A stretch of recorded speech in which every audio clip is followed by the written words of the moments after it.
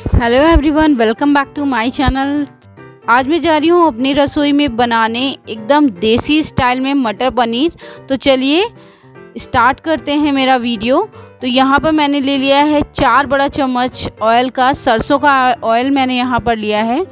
और फिर आठ से दस कलियाँ मैंने लहसुन की ले ली हैं, जब वो अच्छे से गोल्डन ब्राउन होने लगी हैं, तब मैंने इसमें तीन से चार हरी मिर्ची डाल दी है।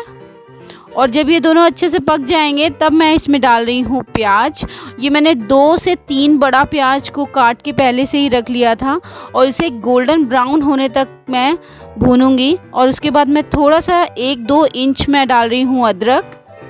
इसके बाद मैं डालूँगी 10 से 15 काजू और 8 से 10 बादाम।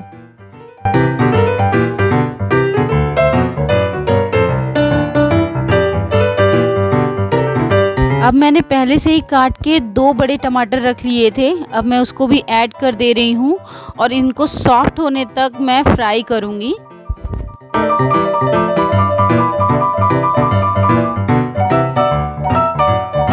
फाइनली जब टमाटर अच्छे से सॉफ्ट हो गए हैं तो मैं एक प्लेट में निकाल ले रही हूँ और इन्हें ठंडा होने का इंतज़ार करूँगी। जब ये ठंडा हो गया है, तब मैं इसे मिक्सर ग्राइंडर में डालकर इसे ग्राइंड कर लूँगी और एक फाइन पेस्ट बना लूँगी।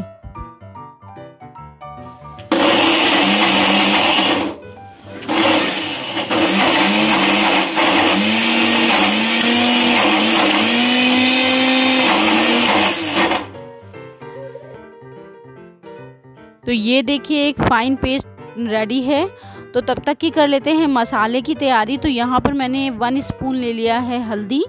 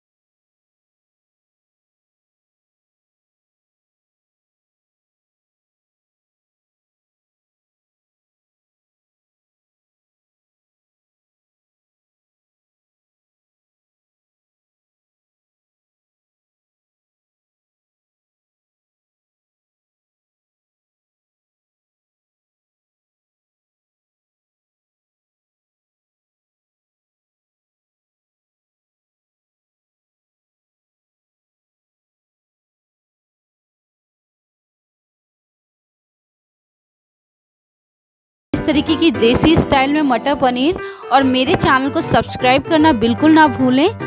और हाँ बेल आइकन को दबाना बिल्कुल ना भूलें ताकि मेरी जो आने वाली वीडियोस हैं वो मिलती रहें। अब जब पनीर के टुकड़े मसाले के साथ अच्छे से मिक्स हो गए हैं, तब मैं इसमें डाल रही हूँ फ्रेश धनिया और उसके बाद मैं गार्निश कर दूँगी फ्रेश मिल्क की मलाई से। Now thank you for watching my channel bye and take care